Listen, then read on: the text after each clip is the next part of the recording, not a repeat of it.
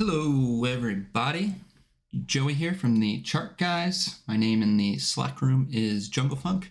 I've been learning under Dan for six years, trading full time for six years, and I'm excited to bring another webinar to you guys. So, this is going to be the fourth and final part of the successive series that I've been working on with the goal of essentially having it be most everything you need to know to operate in this game. So, thank you all for joining me.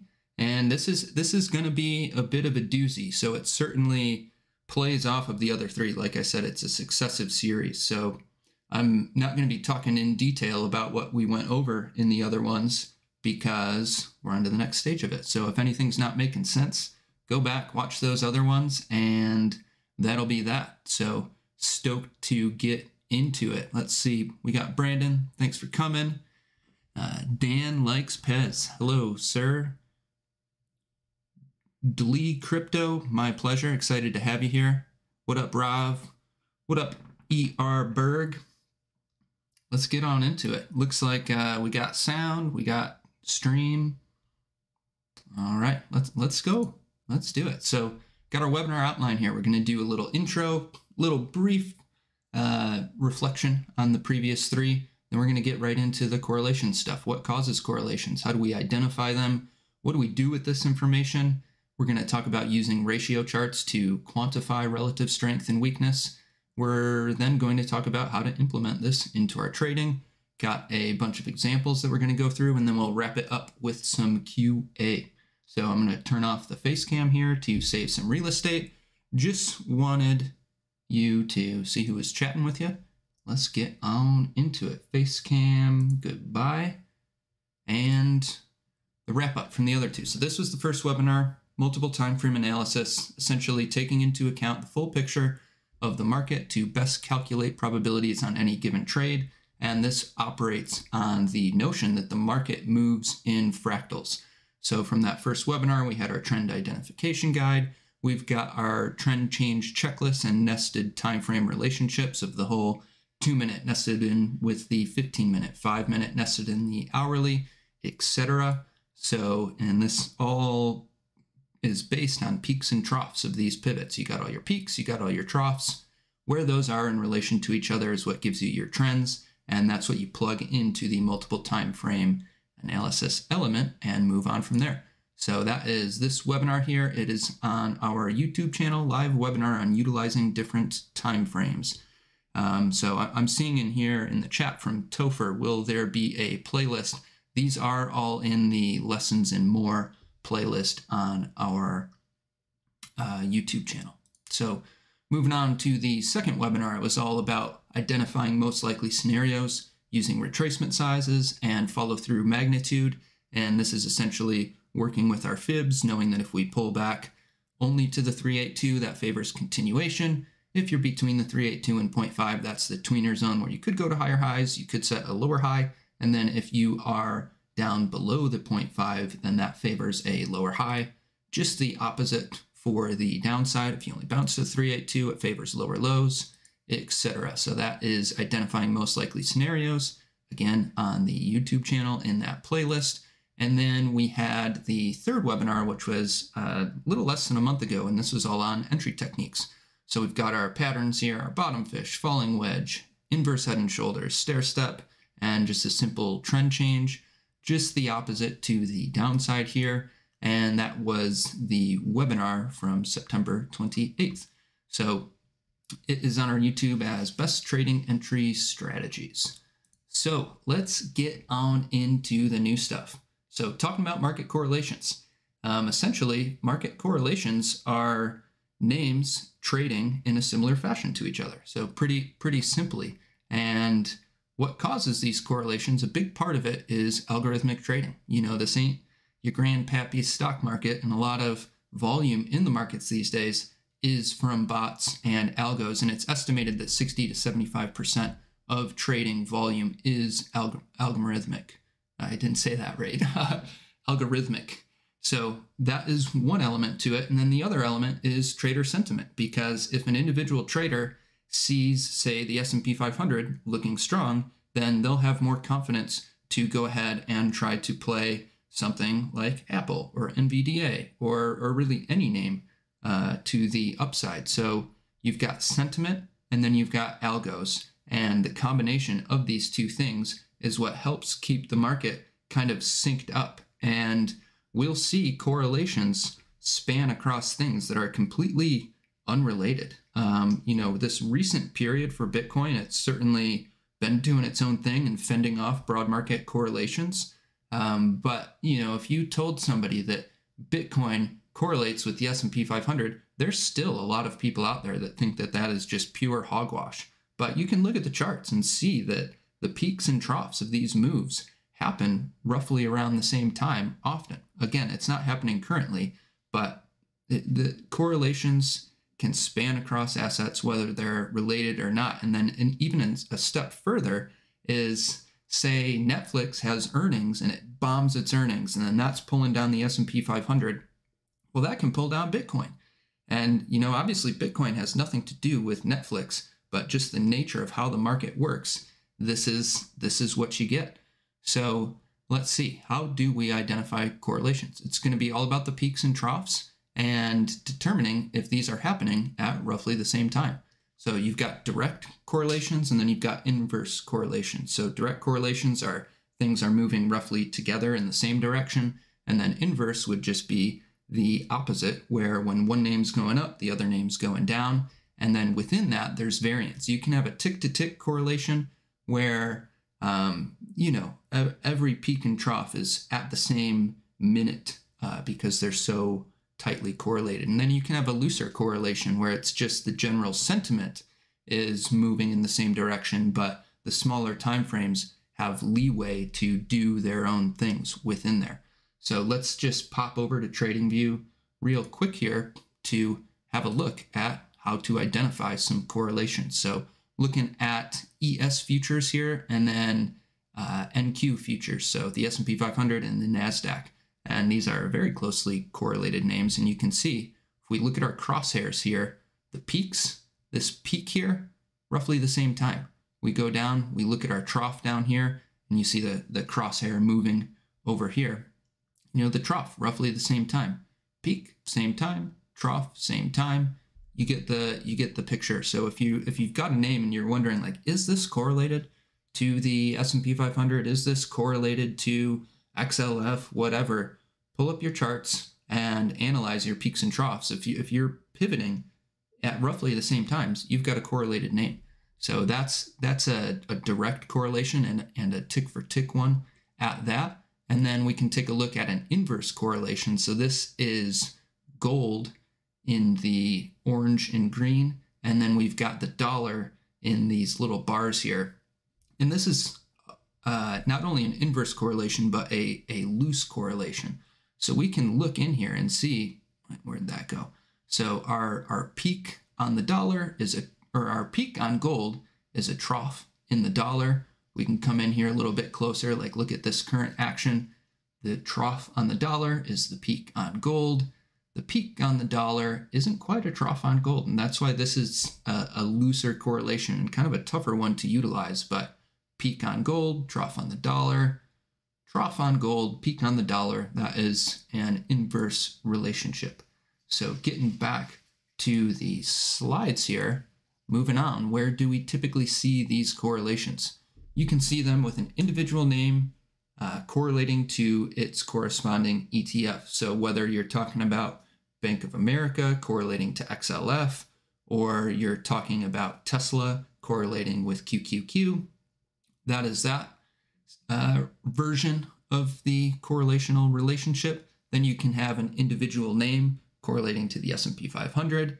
Then you can have a sector ETF correlating to the S&P 500. So that would be like XLF uh, correlating to SPY. And then we'll also see names correlate based on their risk assessment within the market. So you can see high risk assets correlate to other high risk assets despite not really having any fundamental um, relationship there. So, an example of that would be like how we see growth names correlate with the small cap names from IWM. So, another correlation you got Bitcoin correlating with uh, QQQ and SPY, And then another common one is alt- altcoins correlating with Bitcoin. So it's important to know the framework that you're within and what names your sectors or uh, chart is correlating with. So moving on here, getting into the juice. What is a bullish correlation? So we've got multiple signs of a bullish correlation. One is when you've got one name holding support and another name has gone to lower lows. Another is when you have one name breaking resistance and the other is still below. Next, we've got when one name has a shallow retracement and the other has deep retracement. And the next is when we have one name that has a strong bounce and another that has a weak bounce. So we'll certainly go over these with some examples, but just to do a little doodling around here on TradingView, let's see. We can draw some lines and look at these. So if we've if this is what one name is doing here, and we have a correlated name that is looking like this, bit of a bigger move up, less retracement, stronger move up, less retracement. That's a bullish correlation there. So just just a, a quick example of of what we're what I'm talking about with evaluating these retracement sizes, these follow through magnitudes, and and that ultimately is what this all is. So getting back to the slides here, we can talk about a bearish correlation, and it's ultimately the opposite. So signs of bearish correlations when we have one name going to lower lows while the other is still holding support. When we've got one name failing to break resistance while another already has. When we've got one name that has deep retracement while another has shallow. And when one name has a weak bounce while another has a strong bounce. So we can go back over here to TradingView just to kind of visualize one example of the opposite side of things. If this is the S&P 500 and say we are in an EQ here, and then we've got QQQ and it is not in an EQ and it is in a downtrend, you know, our peaks and troughs are still at the same time, but the fact that QQQ over here is going to lower lows, that is a bearish correlation. So getting back to the slides, moving on, in a nutshell, correlational TA is using comparative analysis between two or more names and evaluating all of our standard TA metrics, our trends, our retracement size, our follow through magnitude. And that's why this is the, the final of the four part series because it hinges on the information in these other three. You can't really utilize correlations effectively if your foundations are not rock solid. So moving on here, what the heck do we do with this information? Simply put, you play the strong names bullish and you play the weak names bearish. And when we do this, we have increased odds of success on any given trade because we have additional market wins at our back. So this is the, the standard and um, you know classical easy way to go about utilizing this information. It's straightforward and it increases odds of success on any given trade.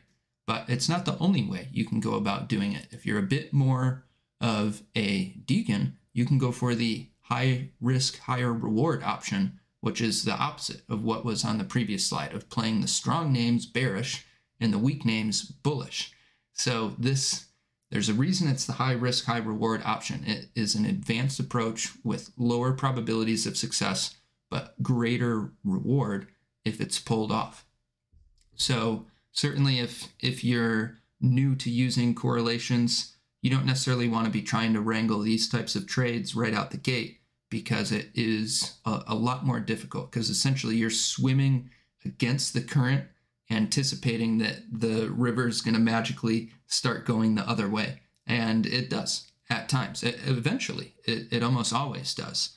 Uh, but pegging that shift can be very difficult. So there's a few ways that we can help peg these shifts. The number one cause for a shift in relative strength or weakness is a hold of a key level. So if you've got a name that comes down in double bottoms, you know, it's got relative weakness, it's coming down to support, and then it double bottoms, and turns around, that you will very often see relative weakness shift to relative strength at that moment. And if you just think about the psychology of it, you you've got a bunch of traders that see the support level, they go in, they play off of the support level, meaning they're buying. That's where you get your relative strength. And then once that support level holds, then you've got another tranche of traders that say, "Oh, well that support level held. Now I'm going to buy." And then once you confirm your first uptrend, then you've got another tranche of traders that come in and then it just kind of snowballs out all from a key support hold or a resistance rejection. So that's one way to try to peg the shifting tides. The other way is with ratio charts. So when you've got your ratio chart, and you know, on the next slide we'll get into what these are, but essentially you can apply TA to your ratio chart, and that can help you pinpoint where this shift is going to come. So, for example, um, let's let's go back to TradingView here. If if your ratio chart is doing this, it's an uptrend. Well, on this pullback here, you know, this is relative weakness for the name because the ratio chart's going down. But if you are, say, riding, I don't know if this is going to show up here. Oh, it will.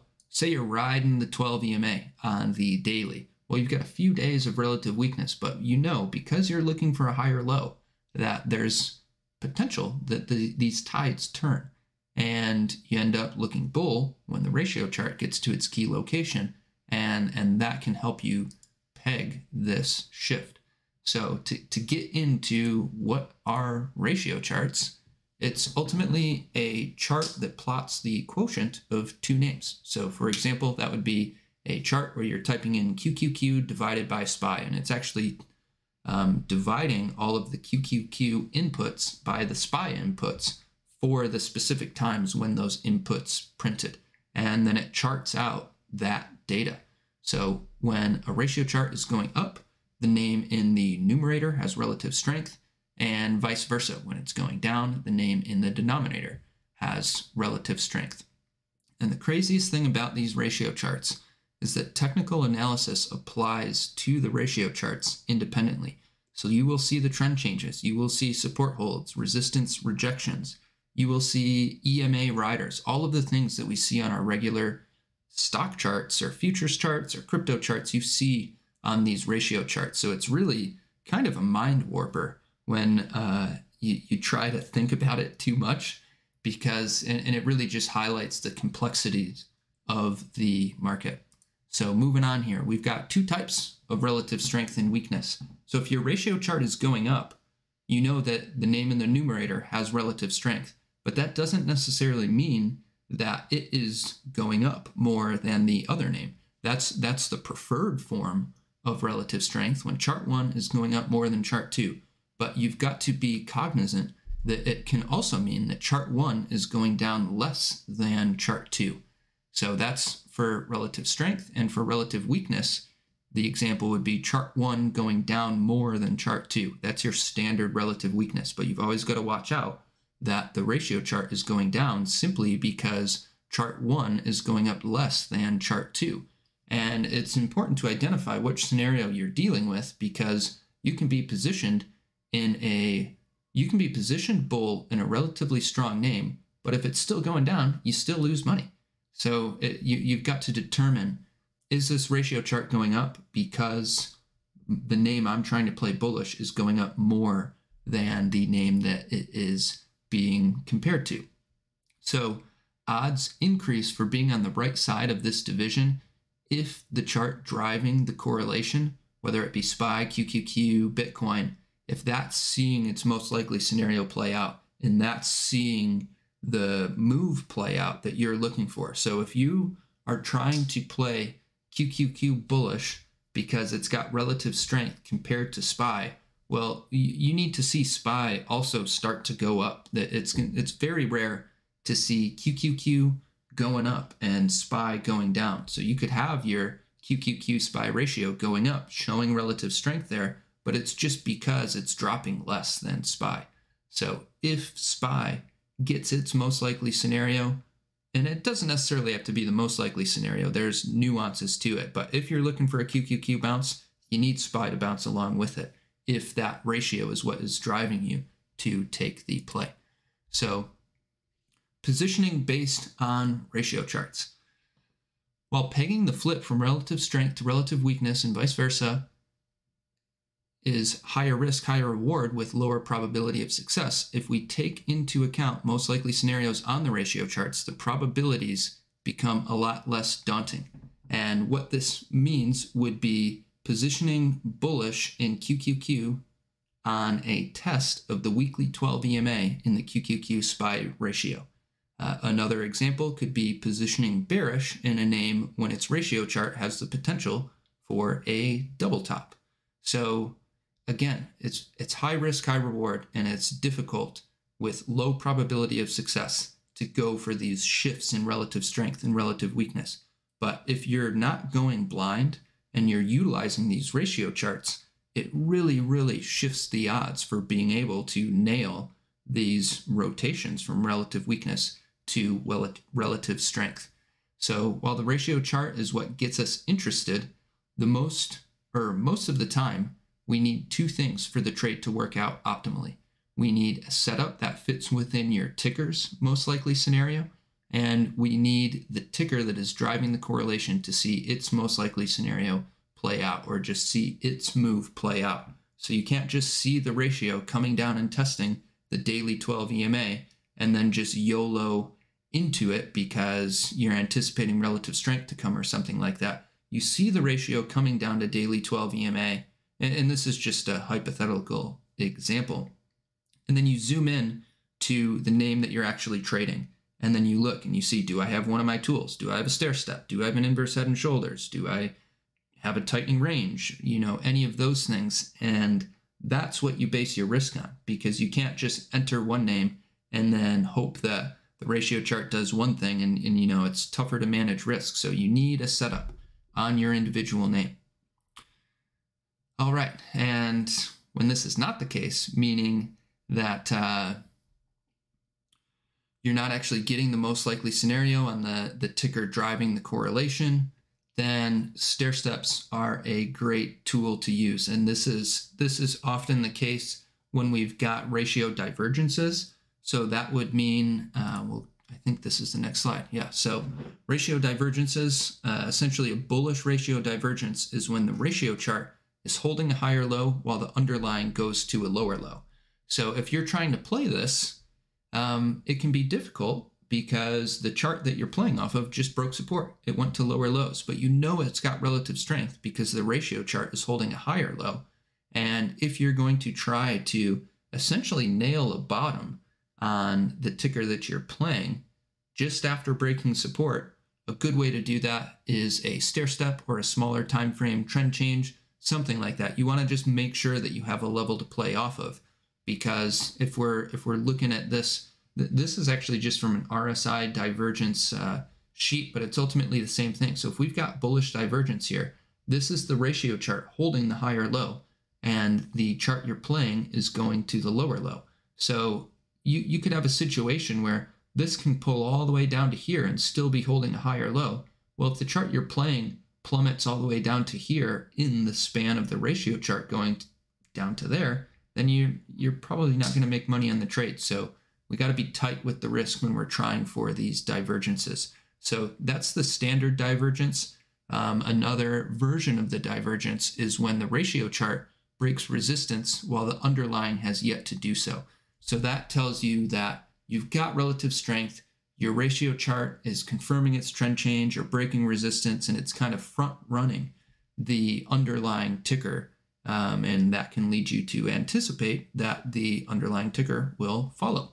So bearish ratio divergence is just the opposite. When the ratio chart is holding a lower high while the underlying goes to a higher high, or when the ratio chart breaks support while the underlying has yet to do so. So here's the bearish divergence we have a higher high on our name we're playing, but a lower high on the ratio. And when that happens, it tells you to be skeptical. You want to, when you have most confidence in something, is when your ratio chart is making the move along with the chart that you're actually playing. And again, stair steps are a great tool to use when playing divergences. Anytime that you're trying to play like a lower low without follow through, ratio charts are a great way to, or not ratio charts, stair steps are a great way to do it because it can be tough to manage risk. You know, where do you put your stop if you're looking to buy after losing support? You know, you could just say, oh, well, I'll give it 0.2% or something, but that is ultimately arbitrary. And we can zoom in and use clues on smaller time frames to try to pinpoint these things when we have a reason to be doing it. And that reason would be the ratio chart. So, how do we implement this into our trading? Uh, we have the, the simple approach that we talked about in the beginning, playing strong names bullish, weak names bearish. Um, another way to go about using these correlational clues is, is using clues from the technicals on a correlated name to make moves on a different ticker. So what I mean by this, uh, we'll go through this example. If QQQ is relatively strong, if you're in QQQ, oh, let me lay out the scene a little bit. Say we're playing an hourly bounce. You know, things have been dumping. We're looking for an hourly oversold bounce. You get in QQQ and everybody's bouncing. Well, if QQQ has clear relative strength and you want to be aggressive, you could say, okay, well, typically QQQ hourly 12 EMA would be my target. But because QQQ has this relative strength and everybody else is bottoming, maybe I'll wait for SPY to get to its hourly 12 EMA. Um, and that would then have QQQ getting well above its hourly 12 EMA. So that would be the aggressive approach to using this relationship. Another way you could go about it is say you are in SPY and QQQ has this relative strength and you know it's not looking as great for SPY and you want to be a bit more conservative, you can say, okay, well, when QQQ gets to its hourly 12 EMA test, I'm going to go ahead and sell my SPY because, you know, it's not looking as good right now. So, you know, those are two different sentiments because you have one being conservative, one being aggressive. And that's always going to be the case in trading. When you're evaluating, how do you want to go about doing this? What decisions do you want to make? Like we have all of this information, it's given to us every day uh, but then you have to decide do I want to be aggressive? Do I want to be conservative? Am I bullish? Am I bearish? And you slot into wherever you decide within there. And that is how you go about it. Because, you know, a con- conservative QQQ bull on this bounce, they might say, oh, well, I don't want to be aggressive and, and figure that SPY is going to get up to hourly 12 EMA because what if it doesn't? What if QQQ hourly 12 EMA tops it? So you're just taking profit at the QQQ hourly 12 EMA. And the, the same could be painted for, say, an aggressive bear could say, okay, well, I think QQQ hourly 12 EMA is going to top us. SPY's not even close. I'm going to short SPY when QQQ gets to its hourly 12 EMA. So that's one way to go about implementing this into your trading. Um, another is letting the ratio chart determine when we are looking bullish or bearish on a name. So, like I said, these ratio charts, the standard TA patterns apply to them the same way that they do on regular charts. So, like if you see an equilibrium on a ratio chart, you know that when that equilibrium breaks, then we're going to have relative strength or relative weakness come into this name likely to stay for a little bit just as when we have a equilibrium on a regular chart when that breaks you know the tighter it gets when it breaks we anticipate follow through so you when you get this follow through, it's not you know on necessarily the name you're playing, but that tells you we have relative strength. So then if you're looking to play bull, you want to be playing this name that has the relative strength.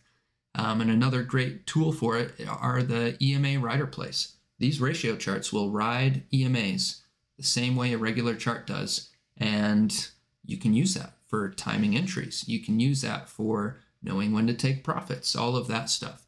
So Another element to consider is that if peers get a technical signal, in general, odds increase that your name will eventually get the same signal.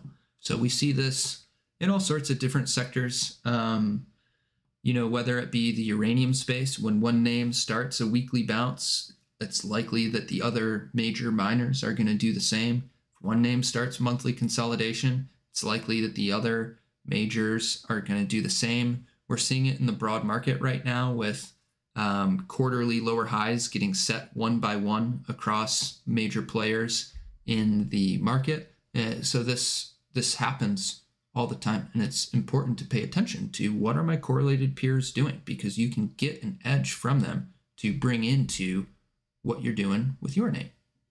So an, another more nuanced element of this is you can lower probabilities on directional patterns if there's clear opposing relative strength or relative weakness. So what I mean by that, uh, probably just easiest to talk about the example. If we've got a rising wedge on a name that is much stronger than its peers, this is often an instance where the name is waiting for its peers to join versus that name having independent exhaustion. So, um, yeah, I just realized I forgot to get the example for that. Uh, there was a good one, and, and we'll just we'll just go ahead and pull it up while we're talking about it now. Let's go here. We'll look at IVN. IVN. Where is it here? On the TSX, it is a copper miner. And where was it? It was back in here. We had this. Is that where it was? Yeah. We had this kind of rising wedge shaping up on IVN but it was it was way stronger. Hmm, what rising wedge is that? I didn't realize I had stuff drawn on it. This was a rising wedge that did end up playing out. Let me get rid of these lines. So we had, you know, we'll draw it something like that. You know, not perfect, but had this rising wedge, you know, higher highs not seeing follow through, higher highs not seeing follow through. Is this a red flag?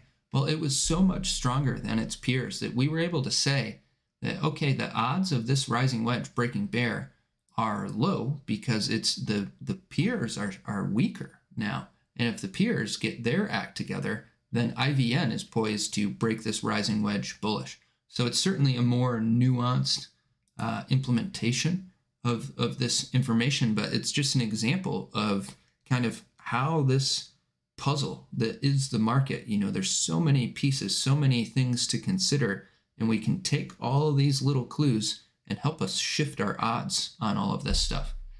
So let's see, what do we got next? When a name, when the name driving the correlation drops to lower lows and your name is holding support, there's opportunity for a low risk bottom fish. And this is this is probably the most common implementation and simplest implementation of this this correlational information. So Another very important part, just working with correlations and rotation in general, is, is it helps us determine whether we are in a rotational or a unified trending environment. And this plays into the all major sectors at high of day, low of day signal that Dan talks about a lot. You know, if we've got XLF going up, QQQ going down, you, we know that we've got rotation on the day and there's greater odds of balance and, and all of that stuff. But if we have all of our majors going to new high of day, same time, trending together, then that's when we know it's a very strong day. We've got money coming into the market that day. So you don't necessarily want to be fading those moves.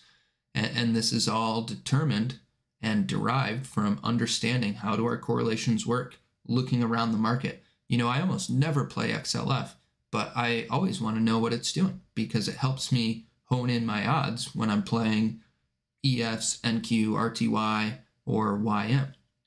So uh, another element and a more advanced element of this is tracking rotation and utilizing historical rotation within market cycles to hone in macro probabilities.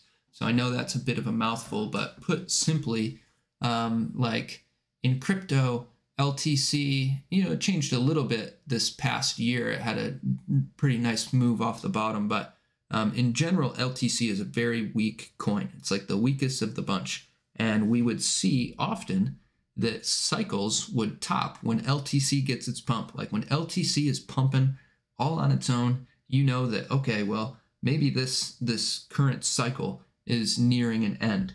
Um, because you'll you'll see money rotate through everything, and then it ultimately ends up getting to the junkers last, and that's kind of where the whole concept of dash to trash comes in. Like the the junkier names are the last ones to get the pump. And if you're tracking all of this rotation, once you see your junkers get their pump, you know that you've got to potentially be cautious elsewhere. So let's see. Talking about relative strength and relative weakness, uh, I, I like to break it down into four categories. You've got your confirmed bull, You've got your anticipatory bear, you've got your confirmed bear, and your anticipatory bull. And the reason these are grouped together up here, we got the two up here and the two down here, is because ultimately a confirmed bull is an anticipatory bear. A confirmed bear is an anticipatory bull.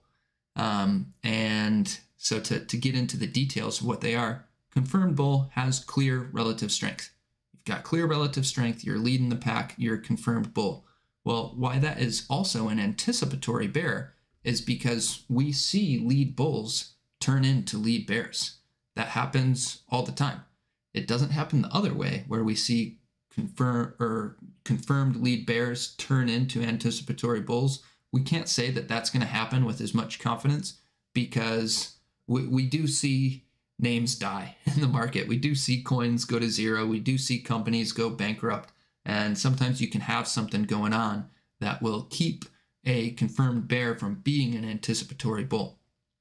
But uh, yeah, with this anticipatory bear, clear relative strength that could shift into relative weakness. So I like to scout names in all four of these categories because then whatever the driving correlational name within the market does, you can have your scouts set out to capitalize on that.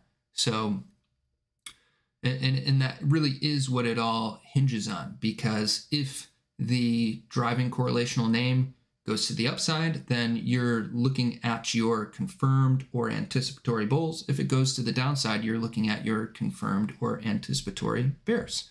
So, as I said a little bit earlier, a confirmed bull is simultaneously an anticipatory bear. A confirmed bear is simultaneously an anticipatory bull. Lead bulls eventually turn into lead bears, but not vice versa. Death is always possible.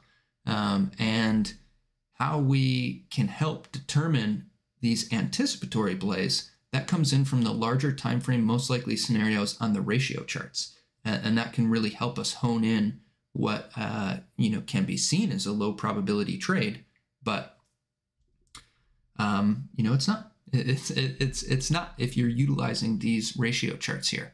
So we'll get into examples of of all of these things, but just going to finish through the slides at the moment, and then we'll go back through and talk about all of these examples.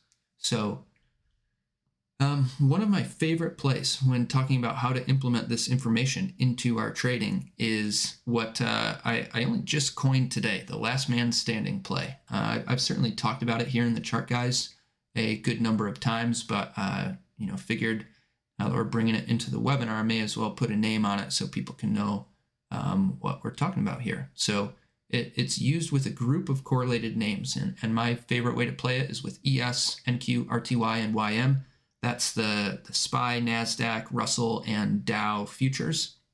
And ultimately, what it is when three of the four names have broken to lower lows, um, and, and, this is just a bull, bullish example. When three of the four names have broken to lower lows, there's an opportunity for a low risk bottom fish of the name that is showing relative strength by not breaking to lower lows yet.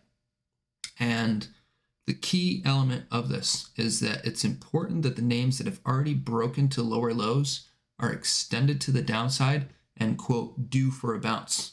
If the weaker names are not due for a bounce, then this becomes a lower probability play. And ultimately, you're going to be trying to bottom fish a name that is likely to just follow suit and break support as well.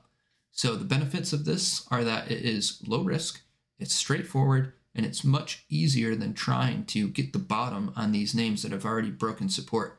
So how I hunt these plays is on my side monitor, I've got my correlational charts and I have this quad window that I that I keep open with uh, ES, NQ, RTY, and YM. And you can very clearly see the relative strength, relative weakness, and all of that over there. So on my middle monitor, I've got my main chart. My left monitor, I've got my brokers. Then on the right monitor, I have my Slack and my correlational charts. So let's get into some examples here. Let me pull this back up. And actually, before we get right into this, I got a cat trying to get inside. One second.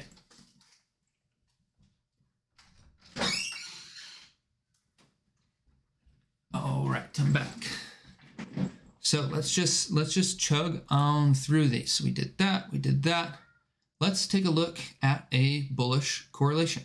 So on the left here, we have the S&P 500 futures. On the right, we have the NASDAQ futures. And again, if we use the crosshairs to sync up the times, if we look at this resistance here, and then we, we pull on down and we bounce. Well, the S&P 500 doesn't even really come close to that resistance. If we look at the NASDAQ, it clears it. So that is relative strength there.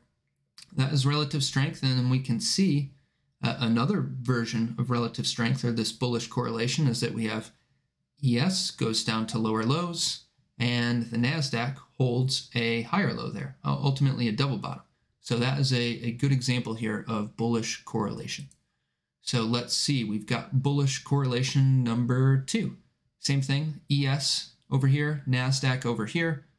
ES goes up four hour lower high, lower low, big follow through. If we look at this support down here, that is this support here on the NASDAQ, and NASDAQ forms a higher low because its bounce was a lot stronger. If we look at this resistance here, that is this resistance on NASDAQ, and, and on the move up, we got almost right to it. And on ES, I guess ES got decently close, but before below the 4-hour 12 EMA, it's just a bit weaker, and then it flushes to lower lows, while NASDAQ forms that higher low, bullish correlation. So moving on here, and this is this is the um, that easiest, most simple implementation of utilizing relative strength, relative weakness, bullish correlation in our trading. We're looking at Link USD compared to Bitcoin here. And this was just a few days ago on Thursday. And essentially, we've got Bitcoin pulling back. It's nearing hourly oversold conditions, seeing some pretty good flush down here. And on this leg down, you know, if we if we look right here, there's not much of a difference. Um, you know, we get a little bit lower on on uh, Link here, uh, where Bitcoin held the low. Then we bounce back up, and then we pull back down here. And this is where we know that we've got a bullish correlation here because Bitcoin flushes down to lower lows. It's almost at hourly oversold. Link is holding support here. You can simply just say, all right, I'm going to buy Link and I'm going to put my stop below the low. It's low risk. If Bitcoin gets its hourly bounce underway, then Link is positioned well for upside. And that is what we ended up seeing there. So let's move on. And here we're going to go through some last man standing examples. So this one is back from, let's see, August 2022 or October 2022. And essentially, we've we're looking at the weekly charts. We got ES, NQ, RTY, YM, and ES move down to lower lows. NQ, big bounce up, move down to lower lows. YM, big bounce up, move down to lower lows. Well, RTY was not down at lower lows. It was it was still above support. We're oversold on these other indices at the time. We're testing four month 12 EMAs. There's reason to think that we could see some upside from here and you have an opportunity to bottom fish RTY with very low risk and basically get in at the bottom there. So that's that's one way to go about it if you're looking to play it. But the other way to go about it is say you are bearish, you say, okay, well, we need this last man standing to fall if we're going to see continued downside here. And time and time again, you will see the last man standing uh, stick a foot in the ground, and that ends up marking the bottoms for these other names. So there's a couple ways you can go about it. You can just take the RTY bottom fish there at that point, or you could say, okay, well, I'm going to enter NQ while RTY, excuse me, while RTY tests its low, and if RTY breaks to new lows, then I'll stop out of NQ. So that is one example of this last man standing play. the other example was very recently here. Same charts, except we are on the daily now. We've got ES, bear flag confirmed, and this is into daily oversold conditions. This is while we're testing monthly 12 EMA. There is some reason to look bullish here. We've got RTY, been relatively weak. Lower lows, big time follow through. And we've got YM, lower lows, big time follow through. Well, look, look how extended YM is here. We, have got RSI nearing 20. Um, we, we've got plenty of reason to think that there could be a bounce but it's going to be a lot harder to try to peg ES, RTY, YM. Well, we've got NQ. We knew it had the relative strength because this is the same as this example here. This this ultimately was the last man standing play, this bullish correlation uh, that we were talking about with QQQ. We saw the stronger bounce and then we're coming back. And then ultimately, it is our last man standing right here. And we can look at this a couple ways. We can say, all right, if I'm trying to play this bounce here, my odds are a lot higher of playing NQ. And you can bottom fish it. Or you can say, if I'm looking for this market to keep dumping, we need to see NQ break its daily support. So it ended up being a great last man standing play there. And that is that. So now, now we're talking about correlation shifting from bullish to bearish. And, and we had a really great example of it on AI here recently. Um, let's see. I'm hitting all the wrong buttons. How do I make this? Hmm. I forget the, forget the, there we go. trying to make it full screen here. Um, so we've got a daily tightening range here on um, AI. We had relative weakness on the way down. We hold our support at the low, then that shifts to relative strength. Then we reject right from daily resistance, that shifts to relative weakness. Then we hold the low of the previous day by a penny, shifts to relative strength. Then we reject resistance, shifts to relative weakness. And if we if we bring back in our correlation to QQQ here, we can see this clear relative strength after this, excuse me, um, after this hold of support down here, and we bounce all the way back up to this high. And if that were to be the same thing on QQQ, here's AI's hold of support. QQQ gets about halfway up to this high. AI gets all the way up there. Then we reject resistance, and we have clear relative weakness, pulling all the way back. It definitely helped that QQQ was still weak with it. Then we hold support, and we have relative strength. Look at AI bounce all the way back up almost to this resistance. That would be like QQQ here, bouncing all the way back up to here. So clear relative strength. And, and this is that notion that the number one thing that will cause shifts in relative strength and relative weakness is a key support or resistance hold. So we've got another example of it here with RTY. So we're looking at RTY on the left and then our RTY ES ratio on the right. We have been in a monthly EQ for a good while and it's just now trying to break bear. Uh, no follow through yet. But if we look down here at our support hold on RTY, you know, it had had some relative weakness on the way down here. Then we hold support. That's here on the ratio chart. Then it turns into relative strength. Then we get our move up and we reject from resistance. And then that relative strength here on the ratio chart shifts to relative weakness. And we come on down and then we hold support again down here. And that starts a little shift to some relative strength. And then we get our bounce on up. We reject from resistance again. And then that is right here where we turn over to some relative weakness. So this could also be seen as some ratio divergence. If we look at this peak here, that is here on the ratio chart, then it sees another leg up, and then that's a lower high on the ratio. So that is bearish ratio divergence, and it ended up playing out very nicely as RTY has been relatively weak for a good while here. So moving on to NQ ES ratio here on the left and NQ here on the right. And we can look at this ratio. We've been riding weekly 12 EMA for a while. A little dip below, but no follow through. Then here we are coming back down to this 12 EMA. Well, we know we've had relative weakness for a couple weeks here. That's QQQ pulling back harder than peers here. But we know this ratio is coming into the 12 EMA. So that tells us that this relative weakness could shift to relative strength.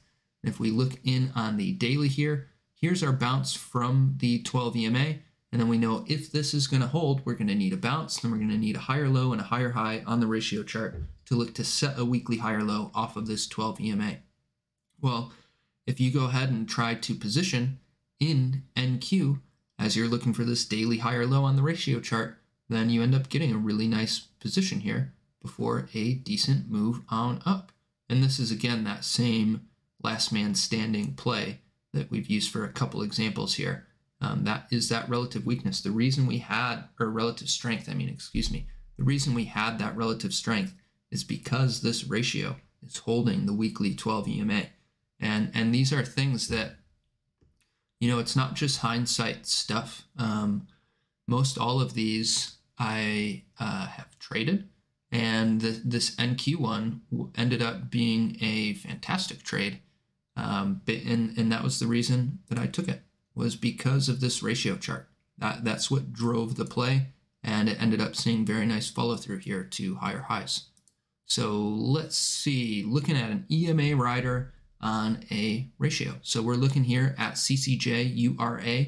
CCJ is the sector leader in the uranium space, URA is the ETF, and you can just look at this ratio and see we're riding the two day 12 EMA for ages. Little pop below, tried, no acceptance, got back up, continued to ride. And we were able to say in the room that as long as the CCJ URA ratio is holding the two day 12 EMA, then CCJ is the place to have your money in the space. As soon as we lose that 12 EMA, then we know that CCJ has fallen from its spotlight and it's no longer the main place that you want your money. There's better place to be had in there. And we'll see these EMA riders play out again and again and again. And the same thing will be said for NQ. When we lose the uh, NQES weekly 12 EMA with conviction, that's going to spell trouble for the market. That's going to spell some downside. So always got to be keeping an eye on these ratio charts. So another ratio chart example of how you can get larger time frame directional clues from patterns on the ratio chart. And this is the APE BTC ratio chart. We've got a monthly equilibrium, high, higher low, lower high, higher low, lower high, and it tightened on up. And then once it broke bear, APE has been a lead bear ever since. And, and this is you can't always hope for this type of follow through, but it's it's picture perfect follow through there. So let's see, moving on, and, and this is basically the opposite. This is the URA SPY ratio, so that uranium ETF pitted against SPY, got a monthly equilibrium here, and it broke bear, no follow through, couldn't break through all the levels, and then bulls showed back up, and we've had clear relative strength in the uranium space for a while. And if we can get through this resistance and actually break it bull, you know, uranium bulls would are salivating, hoping that they can get this kind of follow through that the APE BTC ratio got breaking bear. They hope they can get that on this ratio chart breaking bull. But, you know, during all of our uranium videos and everything that we were tracking, these these pivots on the ratio chart ultimately marked the pivots on the charts themselves and to have just this picturesque EQ, it made navigating the space a lot easier. And if you go back and watch those uranium talk videos, you know, one of these bottoms in here, I don't know which one it was, we absolutely drilled, and it was the ratio chart that guided that full thing. So let's see. Um, this is, you know, un unfortunate. So this is today on Tesla. We're just talking about clear relative weakness here. These wicks are not real. They're all wacky. It kind of makes the chart look wonked up, but that's not what we're here to look. We're here to look at how can we tell we have clear relative weakness right out the gate. So this is the open. We got two little weak five minute candles and then we roll on over. And this is what QQQ is doing. So on the third five minute candle of the day, we're still green. Fourth five minute candle of the day, we're still green. Well, on Tesla, those are both red candles. So that tells us we've got some relative weakness here and we can see how it ended up playing out throughout the day. Just clear relative weakness all day. QQQ bouncing up. You know, we put in our bottom here on QQQ. That's here on Tesla. And then this bounce that doesn't even get us back to what is this high on QQQ. You know, QQQ blows through it and goes up and tests high of day. So clear relative weakness. So let's see. Now this is going to be an example of utilizing ratio chart patterns to try to position within the underlying stock. So we're looking at Tesla here. We've got a 12 hour rising wedge. This is back from February. 12 hour rising wedge on the ratio chart. And if you couple that with this head and shoulders on the regular chart, you can get a nice entry there. So I, I didn't end up taking this entry. I ended up waiting for the lower high after it broke down bear. But um, the aggressive trader could have combined this pattern here with this pattern here and had good ammo to go ahead and try to take this short here on Tesla. So uh, another example of it, and this is NVDA, we are looking at or NVDA QQQ ratio. We've got a tightening range, you know, like a two-day equilibrium here.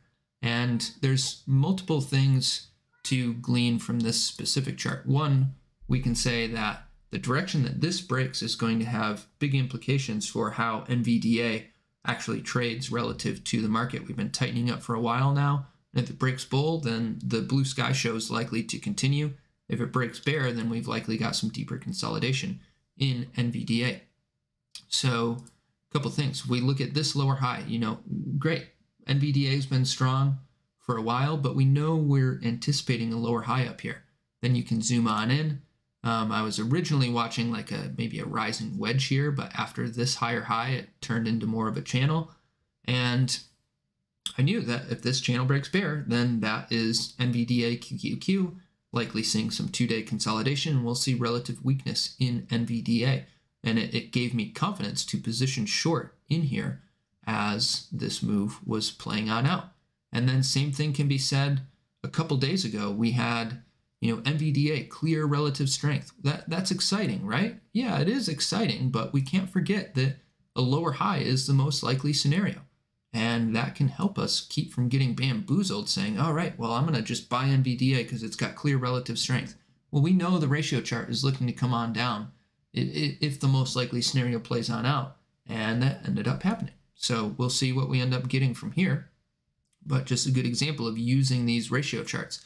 And we'll have to see when this tightening range breaks, do we get follow through like this on APE BTC?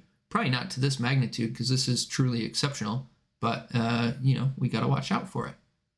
So moving on, what do we got here? So this is going to be an example of anticipatory or basically setting up looking for a confirmed bull, an anticipatory bear, a confirmed bear, and an anticipatory bull. So this is uh, to kind of talk about what we do in the chart guys and, and some of the resources here. This this was a post from the alt channel. Essentially, um, I had a mentor session where I was uh, helping Sitting Bull scout and kind of get these concepts down, and you know uh, posted the video from the uh, session as we scouted these things, and then ultimately we were able to go back through and look at how they all played out. So it's uh, the nice thing about posting in chat is it allows you to go back and see, you know, how is my analysis working? How are these relationships playing on out? But ultimately, we got LTC as a confirmed bull. We got Ape and Sand as anticipatory bulls. We had um, Sushi as an anticipatory bear and then mana as a confirmed bear or established bear. And we can look at how these things played out. The X was when the scout was, and this was the ratio chart on LTC BTC. And the reason we were looking for it to be an anticipatory bull was because we were riding the daily 12 EMA. Well, yeah, it's been weak for a few days, but that's an anticipatory bull or, or a confirmed bull, excuse me, because we're riding the 12 EMA. We've been on this move up. So that's your that's your confirmed bull. You're looking for your higher low here. And ultimately, LTC ended up seeing a decent move off from that. And to talk about Ape again, Ape was the anticipatory bull because it's been weak this whole move down. But ultimately, this was that last monthly higher low within the equilibrium where we said, okay, well, if this EQ is going to hold, then this is going to be an anticipatory bull. You know, you can position low risk in here, and then you get a nice move up on Ape. So we'll we'll skip over sand just for for time, but sushi, you know, sushi relative strength on the way up. This is sushi BTC relative strength on the way up. Well, we knew we were looking for a two-day lower high. We start to get a rising wedge. That's what makes this confirmed bull also an anticipatory bear, and then the bears won out on it. And this is the USD pairing. And the confirmed bear, Mana, you know, had been riding six hour 12 EMA the whole way down and you know, simple as that. You, you look bearish on a name you, that's EMA rider all the way down. So, and this is all while Bitcoin is just within its tightening range. So Bitcoin, we've got a six hour, you know, EQ essentially on it. and without even breaking out of its six hour EQ, we were able to have bull plays work out and bear plays work out because the ratio charts guided us to that. So to, to go in and actually look at these charts a little bit more. So here is that APE BTC. We've got our EQ, high, low, lower high. We're looking for a higher low. That makes it an anticipatory bull. And we saw anticipatory bull follow through for a good while here. And that's APE BTC. If we look at APE USDT and and look at that same thing, you know, this is one, it's a it's ratio divergence. You have your ratio holding the higher low while we while we broke to a lower low here, but ultimately ended up marking that bottom. And if we look at the percentage gains off there, 140%, 144% off of these ratio signals. So looking at LTC, this was our, we need LTC BTC right here to look at our anticipatory or our confirmed bull on this. Got our move up, riding the 12 EMA. Here we are looking for the confirmed bull to keep bulling and, and it did. Got great follow through for a good little bit there. And if we go back to LTC USDT, we can see great follow through from that. You position based on the ratio chart, but within your USD pairing, and then you get a nice move on up. So looking at sushi, that confirm or anticipatory bear, you know, it's holding on better than peers. It's got this strong bounce up, but certainly a lower high compared to that is the most likely scenario. You zoom in, you get your rising wedge. That tells you that, okay, this confirmed bull could be an anticipatory bear. Then you get the pullback on that. And if we look at sushi USDT to see how that did as well, there's your move on up and there's your move on down there. So for the next one, Mana confirmed bear. We're just riding the six hour 12 EMA down the whole way. You know, just the, these EMA riders are as simple as it gets in, in terms of uh, looking for a straightforward high probability play and got nice follow through. If we look at Mana USDT, where are we? Here we are. Your confirmed bear ultimately, you know, pending how you manage your position, ends up getting uh, almost 40% of further downside. Let's see here. And again, this is all while Bitcoin is just tightening on up sideways here. So when you can have LTC get that massive pop up to higher highs while Bitcoin goes to lower lows, that shows you the power of these ratio charts. And to have mana continue to bleed down almost 40% when Bitcoin only ends up going down 7%. You know, that shows you the power of these ratio charts. So uh, another example here for the high risk, high reward name. This is Sol when it was absolutely dumping. We've got our ratio chart on the right. We've got our USD pairing on the left. And it's getting absolutely smoked. But if you go for the high risk, high reward play of nailing the shift on the ratio chart and it's it was a bit tougher in this context because it was ultimately like a quarterly. Wow, why does that look like that?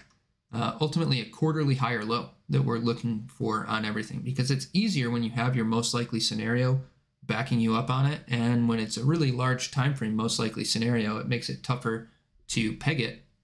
But if you did, you were rewarded lavishly. Let's see here. You know, the USD pairing off of the lows ends up going up 240% off of that low.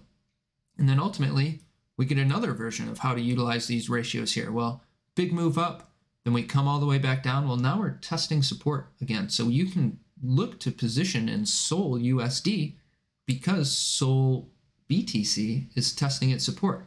Sol BTC holds its support. You get another really nice move up here on Sol USD. And then now we could see this as bearish ratio divergence. Sol B, BTC is testing resistance. It's not through those highs. Sol USD is already through them. So that's ammo for a potential short play on Sol USD. There, there's so many ways you can slot into these different, um, you know, angles and and positions within these ratio charts. Do you want to be bull? Do you want to be bear? Do you want to be aggressive? Do you want to be conservative? you can go about it many, many ways. So the last example we've got here is looking at our ratio charts and, and what they tell us about the underlying strength of our names. So we know we, we've been seeing some decent upside in the crypto space, um, and it was led by Bitcoin with the ETF stuff. But then we've seen rotation into alts. And you know, the alts that ended up getting the rotation, they were the alts where the BTC pairings were off of their lows. So Sol was one of those names that got that rotation. Link, oh, I mean the BTC pairing. Link, another one of these names that got the rotation. You know, it's it's ratio charts way off the low. We're looking at the daily here.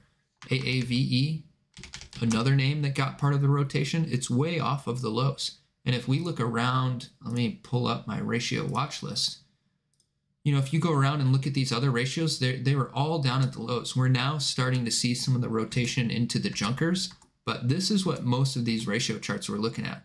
You can see AAVE pops out like a sore thumb, very different. Sol pops out like a sore thumb, very different. All of these other guys just grinding the lows there. So that is that. That's it for the examples. Let's see. Going for about an hour. Honestly, got through it quicker than I thought I would. Let's get back to the slides here. We'll do some QA. We'll turn the face cam back on. Um, one second. I gotta. I'm gonna shut my door real quick.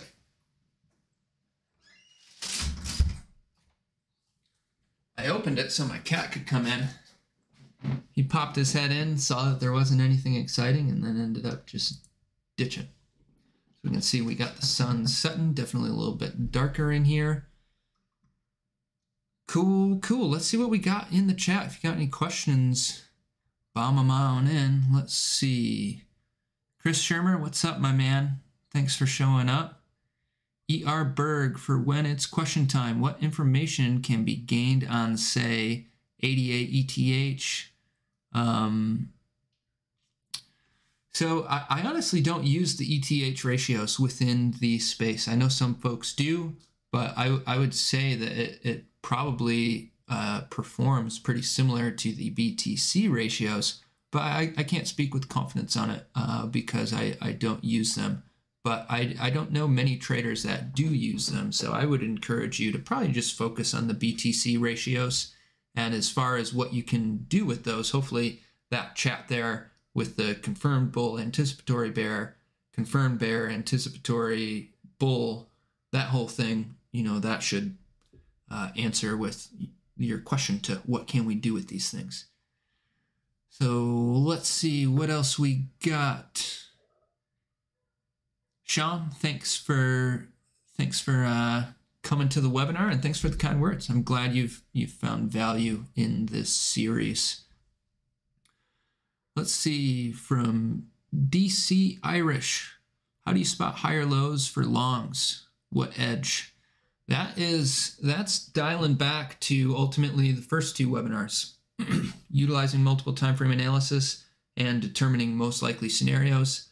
That's how you spot them, and then you use the info from the third webinar of your entry tools to get on in. So ultimately, if you're looking for a higher low, you want to bounce big enough that has created enough room for that higher low. And what that means is you bounced over the 50% retrace of your preceding move down that tells you you got room for the higher low, and then you don't just YOLO in, you look for a pattern. You say, do I have an inverse head and shoulders? Do I have a falling wedge? Do I have a stair step? All of those things. And that's ultimately the whole shtick there.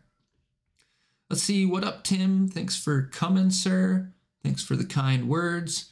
Could you go over this morning's quad layout correlations and how you would classify RTY? It seemed uncorrelated for the first 30 minutes, but also could say it foreshadowed NQES, almost the opposite of last man standing, but rather first one diverging. So just a two minute chart on the first 30 to 60 minutes if possible. Let's see, let me pull on over quad layout and we'll do it. It was, uh, you know, I was preparing for the webinar here today, so I didn't Actually, I, I didn't even open up my brokers this morning because I know that if I have my brokers open, it's tough not to trade. If I'm in a trade, it's tough not to watch it. And I had to finish my prep for this. So we're going in blind here. So we're looking at first 30 minutes. Go to the two minute. So that would be to noon or to, to 10, excuse me.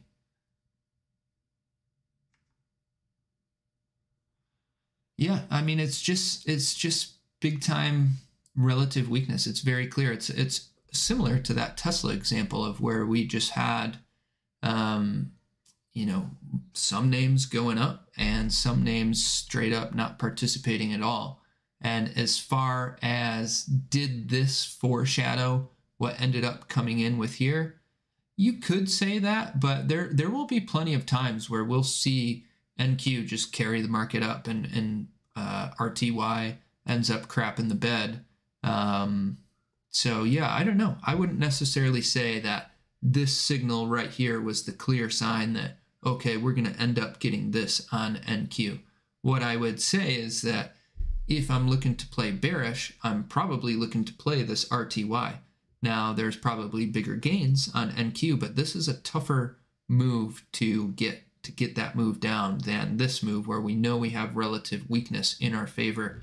And this is this kind of just goes into the whole balance of all of this stuff like yes, uh, higher reward is great, but it comes at a higher risk and often comes with lower probabilities of success.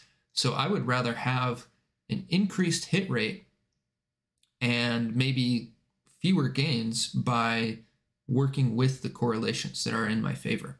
Um, so that's sometimes, sometimes I like to try to, you know, peg the tops and bottoms and ultimately five minute stair step, you know, or two minute stair step ended up marking the top of the day. And this is why I love stair steps because it really was reasonable to get in on this NQ dump down, which ended up being, you know, decent, very decent move on down there. So, and then, you know, once the day went on, and this is where we can see clear relative strength. Let's see, here's our low of day. ES, new low of day. Low of day here, NQ, new low of day. RTY had new low of day very early. Well, look at YM. Look at where it bottomed. Let's let's get a line. Low of day, double bottom. And then what happened the rest of the day? YM's your clear lead bull the rest of the day after that double bottom. Like ultimately, that's kind of a form of a last man standing play.